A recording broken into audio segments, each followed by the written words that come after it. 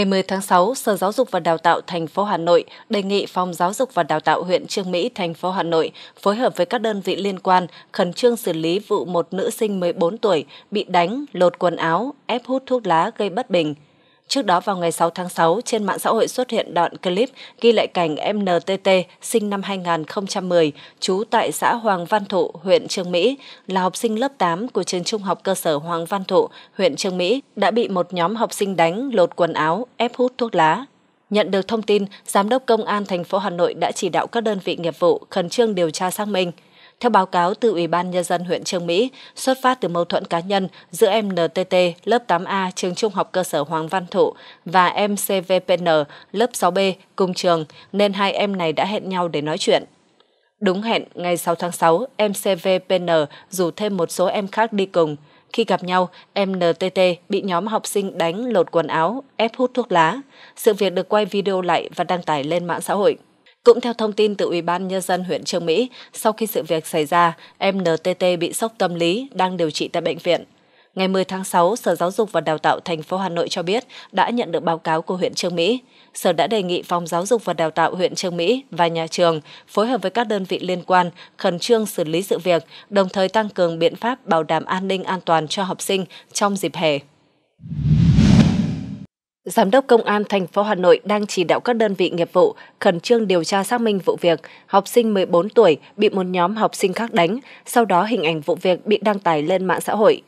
Trước đó vào chiều ngày 6 tháng 6, xuất phát từ mâu thuẫn cá nhân, một nữ sinh lớp 6 14 tuổi của một trường trung học cơ sở ở huyện Trương Mỹ đã bị một nhóm học sinh đang học tại một số trường trung học cơ sở đánh, lột quần áo, ép hút thuốc lá. Sự việc được quay lại và sau đó bị đăng tải lên mạng xã hội. Ngay sau khi nhận được thông tin, Giám đốc Công an thành phố Hà Nội đã chỉ đạo Công an huyện Trương Mỹ khẩn trương phối hợp với các đơn vị nghiệp vụ xác minh, xử lý vụ việc theo quy định của pháp luật. Qua xác minh, Công an huyện Trương Mỹ đã làm rõ 7 người liên quan đến vụ việc. Hiện Công an huyện Trương Mỹ đã hướng dẫn nhà trường phối hợp với gia đình các học sinh quản lý giáo dục con em, phòng ngừa các hành vi vi phạm tái diễn, đồng thời tiếp tục điều tra xử lý vụ việc theo quy định. Liên quan đến vụ nam sinh lớp 8 NHD ở quận Long Biên bị đánh chết não khi chơi bóng rổ, trưa ngày 21 tháng 5, sau gần 2 tháng điều trị, nạn nhân đã tử vong. Nghi phạm là Trương Văn Minh, 16 tuổi, ở phường Việt Hưng, quận Long Biên, đã bị công an quận Long Biên khởi tố về tội cố ý gây thương tích vào cuối tháng 3, là thời điểm nạn nhân chưa tử vong. Vậy, với tình tiết D đã tử vong, Minh có bị truy cứu trách nhiệm hình sự về tội giết người hay không? Luật sư Nguyễn Văn Đồng, Văn phòng Luật sư Nhân chính cho biết, Trương Văn Minh đã bị khởi tố về tội cố ý gây thương tích theo Điều 134 Bộ Luật Hình sự. Trong trường hợp nạn nhân đã tử vong, Minh sẽ bị áp dụng tình tiết định không là cố ý gây thương tích với hậu quả chết người, quy định theo điểm A khoản 4, Điều 134, khung hình phạt sẽ là từ 7 tới 14 năm tù. Tuy nhiên, theo luật sư Đồng, do bị can thực hiện hành vi là người chưa thành niên nên sẽ áp dụng nguyên tắc xử lý và các quy định xử lý đối với người chưa thành niên phạm tội.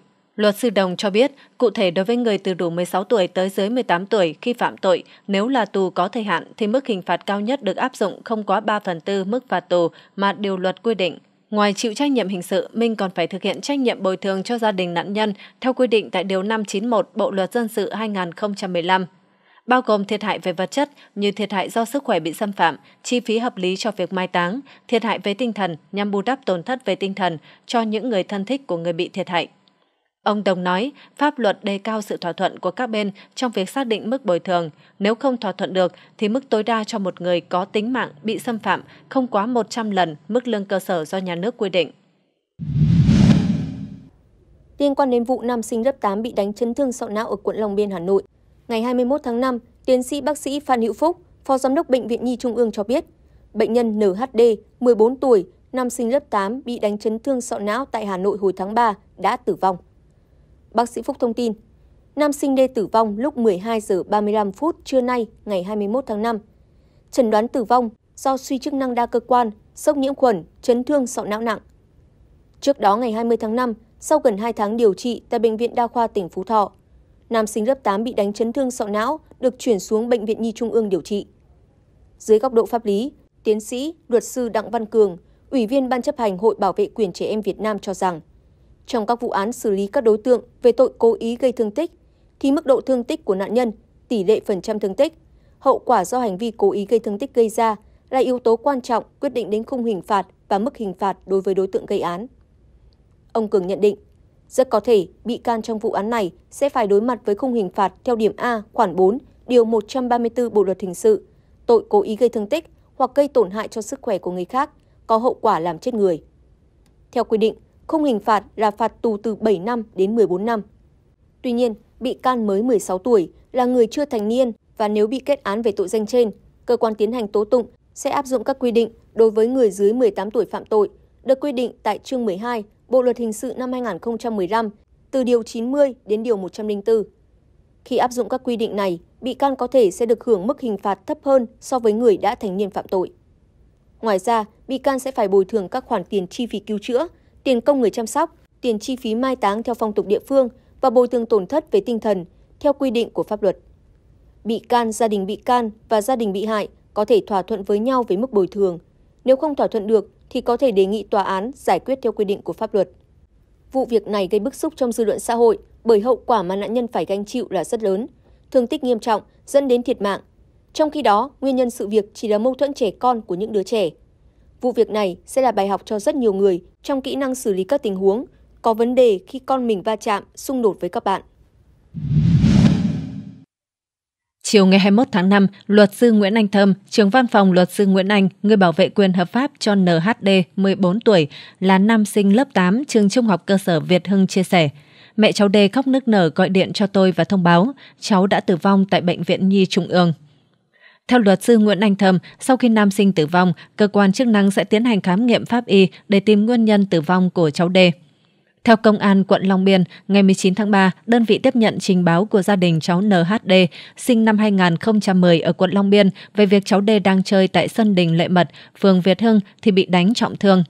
Căn cứ tài liệu chứng cứ thu thập được, Công an quận Long Biên xác định khoảng 15 giờ ngày 17 tháng 3, cháu TVK sinh năm 2012 ở quận Long Biên chơi tại khu vực đình Lệ Mật. Cháu TVK và NHD xảy ra mâu thuẫn, đê tát vào mặt ca. Cháu ca chạy đi gọi anh trai là TVM 16 tuổi để nhờ giải quyết mâu thuẫn. Khi hai anh em đi bộ ra sân đình lệ mật thì gặp bố là anh TVT. Sau khi nghe kể lại sự việc, anh T chở hai con ra sân đình lệ mật để xem ai đánh. Khi đến khu vực đình lệ mật, anh T bảo hai con đi vào sân đình gặp ông nội đang có mặt ở đấy. Sau đó anh T quay xe, định ra về. Lúc này, anh T thấy cháu mờ chạy vào đấm, làm cháu D ngã ra đất. Anh Tê vào can ngăn rồi chở hai con về nhà. Sau đó anh Tê trở lại khu vực sân đình lệ mật thì thấy cháu D có biểu hiện choáng mặt tái nên đã đưa vào bệnh viện đa khoa Đức Giang cấp cứu. Sau đó chuyển bệnh viện Trung ương quân đội 108 điều trị. Bệnh viện xác định cháu D bị chấn thương sọ não hôn mê. Ngày 26 tháng 3, gia đình chuyển bệnh nhân về Bệnh viện Đa khoa tỉnh Phú Thọ điều trị. Sau đó cháu bé được chuyển Bệnh viện Nhi Trung ương và đã tử vong tại đây.